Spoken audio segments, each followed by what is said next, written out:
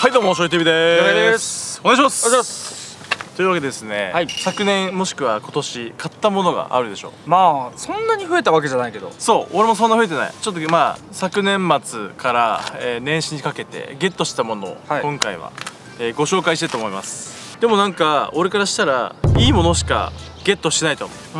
うん。まあ2024年も、まあ、心新たに、えー必死にねもがいて、えー頑張っていきたいと思うんですけども昨年末、まあ、結婚もしましたし、えー監督として、えー就任もしました。まあ本当環境がたくさん、まあ、変わるのでこの1年ですごい多分新鮮なものになると思います。まあ皆さん野球チームだったりね対談して別のチームに移籍してるっていう選手も、えーいらっしゃると思いますし新たな年になってる選手もいると思います。まあその中で、えーね何かしらいい方向に進めるように頑張っていきましょう。とりあえず良平と俺が最近か買ったし買ったものゲットしたもの。えーこちらじゃん。おなじみ。アクティブームのモックネックという。まあ、ハイネック気味ってやつでね。そうだね。ここの首のところが。ちょっと長めになってますと。はい。はい。俺のサイズねでっかいマジで。3XL ですうんうん。すごい大きいんですよ。良平が？M サイズです。M サイズ。でこれはねまあ僕ちょうどさあの EBC 野球部ユニフォーム黒なんですよ。ユニフォームっていうか、ユニフォーム黒だしアンシャツも黒なんですよ。はい。しかもさ 3XL っていくつって感じじゃん。4L ぐらいじゃん多分、だからすごいありがたい。だし今回ねネーム入ってるんですよね。そう。ネーム入りでね「翔平」と「良平」と。やっぱ首元ってやっぱさ冷えるとね多少ちょっとコンディションに影響してくる。でなんか若干この鴨柄若干違うんじゃない？今までのやつとこの黒逆に僕着たことなかったんですよ今まで、うん。だから黒ってどの柄使ってたかなっていうのがちょっと見比べができないからあれなんですけど。やっぱこのモックネックこれはねすごいこの冬の時期最高マジで。うんこれずっと着てんのマジで。で明日撮影があるんであえて着ずに今日は普通のやつネイビーの着てきましたけどまあネイビーのやつは今日来てくれてるけど谷中君にねラガーズで使うであろう谷中君にあげたんでアンシャツは。はい継承しようかなってことで。今年から、まあ、僕は黒を、まあ、主体として使っていくので。日焼け嫌な人とか直接太陽当たりたくない人、あのーどんどん日焼けして熱持っちゃうのが嫌な人とかっていうのはハイネックでもいいんじゃないかなっていう。むしろそっちの方が気取られなくていいんじゃないかなっていう感じがしますねでなんか良平さんが、そうですね、まあ、動画出したよね。年始であの前原さんで購入させてもらった伏見選手モデル。どうなんこれ。あいいね。カカラーリングはいいね。そうっす、カラーリング買ったでしょうん、型も何も知ららずに。いやから型も型も M8 よりでかいのは分かってて買いました。なんか結構さこだわりあるじゃん。このミットは合わないとか合うとかさ。自分ちっちゃくて浅いミットじゃないと合わないですけど真逆っす。なぜ買ったの？うんかっこいいから。かっこいいから使うことがあるのかどうかは分かんないですけど。じゃあやっぱ渋谷とかその原宿とかある時にやっぱこれ持ってこいってやった方がやっぱかっこよさ良さというかあのファッション的にはやっぱいいっていう。大宮店舗で持ってた方がいいと思う。お宮憲法かそうあのあの辺ね。そうそうそう。でもこれっていつからだ？今年から？一応正式的には。正式的には秋冬去年の秋冬なのかな？ああなんか9月10月ぐらいには出てたから。あそうなんだ。一応出てたから秋冬か、まあ、今年の春で練習練習になってからなのかな。うんうんうん。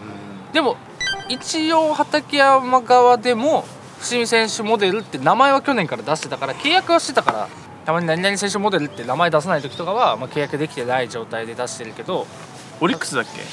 ハム。日ハム、ん。あれ？そっかオリックスにいた気がし気がした。そう。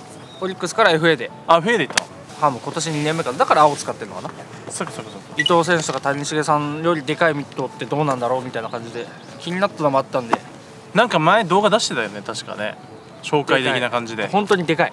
ここの親指も分厚いんで確実に僕向きなミットではないです。細くない薄くないここ。買い物に持ってこいか多分ドギモネからで買い物に持ってこい浅いでうん。いや俺浅く見えるよこれ。これが深いんだ。うわーこれいいなこの。人差し指のこのクッションいい。これ何がお何がこれ？え？ー、深い？わかんない。これ浅いんじゃないの？しかも細いじゃんな。この細さが。そんな分厚くない。昔のグローブやばかったんだよ。もう昔のやつは。これはめてみれば分かる。こっちをはめてみれば分かる。何こ海選手モデルマジで全然違うから。本当かよ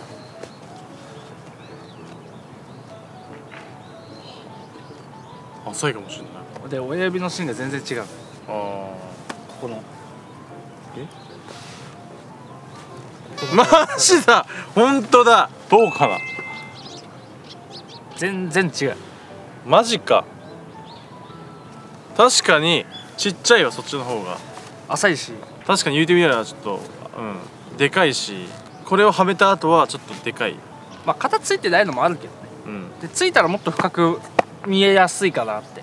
なるほど。これを買ったのね。じゃあこれをじゃあ撮影でたくさんねまあ。撮ってもらう。公式は軟式よ。軟式。あこれ軟式よ。なるほど。じゃあ公式でもいけるか。公式畠山だから頑張ればぐらい。いけるでしょ、ちょっと型はスチーム入れたりもまあ何してちょっとつけてみようかなとは思ってます。まあ沼津のねバス線とかね200ではさすキロ。多分無理。200キロとかいけんじゃないですか。多分あれは公式ないと思う。さすがに、あとはまあこれかな。うん、買ってはないよね。買ってはないよね、うん。買った買った買った。今年買ってない。56年前に買っそたやつ。れ最近っていうやつ怖えだろ。まあ俺からしたらもう昨日のような感じですよ。現代モデル初期。久々登場ですよ。まあちょっとまあ言うて中手の中はマジで綺麗ですけど外見はちょっとやっぱ劣化を感じるね。まあ色落ちがちょっとしてきてるの色落ちはしてる。もうほんと一人で撮影してた時のやつだから。では最後ですね、はい。最後とある男がうん。なんか突然現れてすごい難しく表現するとモノマネするよ？難しく。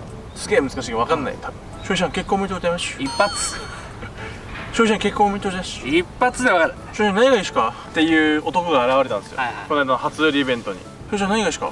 俺がこうじゃんけんでこう負けまくって。くっそ負けた。ってなってる最中に。翔ちゃん何がいいですか？何がいいですかってなんだよ結婚今し。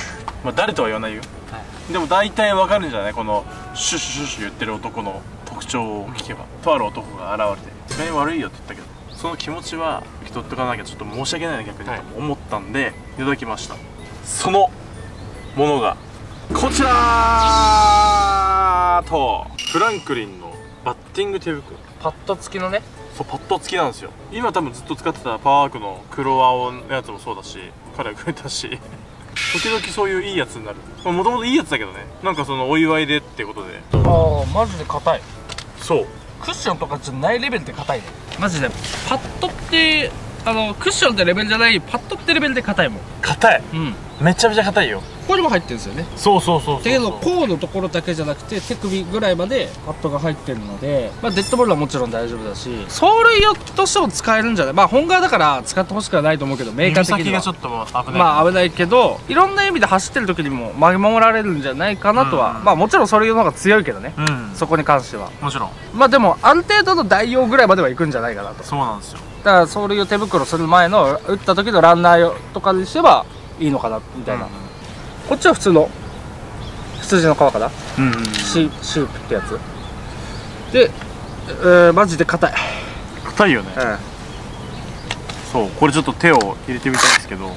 なんか入れるともうこう入れるとさ多分多分手の甲が上上につくのね。あひっつくじゃない？あはい。その時点でなんかもう硬い板が俺の甲をこう身にまとってるみたいな感じ、ここがなんかこう引っ張られてる。グーすると抵抗感っていうのはい。感じるからあのパワーワークみたいな感じ。グーするとここがこう固定されるけど曲げるからちょっとこう引っ張られてるここからこう引っ張られてるような。ちゃんと指の関節のところにそういうのが来てるよ。そうはいというわけでもう本日は最近ゲットした買ったゲットしたものを、えー紹介しました、はい。このモックエッグ最高だしね。両平のミットもね今後ねどう育っていくか楽しみだし、このバッテもねどんなバッティングできるのかこれで楽しみなんで、えー今後ともよろしくお願いします。はい。といった感じで、えーこの道具で頑張りたいと思います。はい、この動画が良ければチャンネル登録とコメント高評価よろしくお願いします。それではありがとうございました。ありがとうございました。イエイ。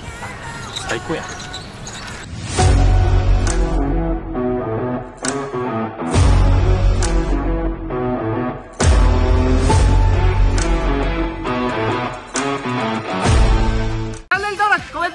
よろしくお願いします。それではあいしょー